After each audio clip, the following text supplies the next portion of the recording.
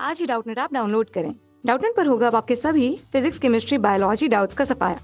बस अपना फ़ोन उठाओ, क्वेश्चन की फ़ोटो खींचो, क्रॉप करो और तुरंत वीडियो सोल्यूशन पाओ। Download now.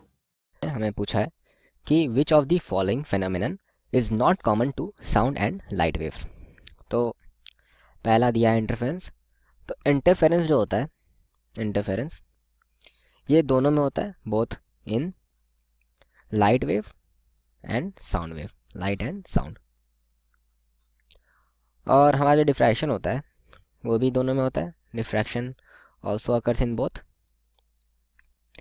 और जो कोहेरेंस है coherence is the opposite of diffraction तो कोहेरेंस जो होता है that also occurs in both light wave as well as the sound wave जो हमारा साउंड वेव होता है, वो क्या होता है? Sound wave is longitudinal longitudinal wave और जो हमारा लाइट वेव होता है that is transverse wave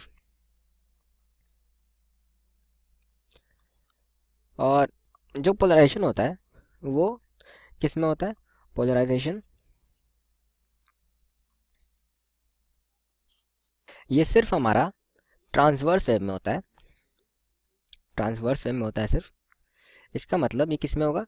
This only occurs in case of light and not in case of sound इसका मतलब क्या हो गया? हमारा पोलराइजेशन है that is the answer of this question यानी कि polarisation is not common for sound as well as the light wave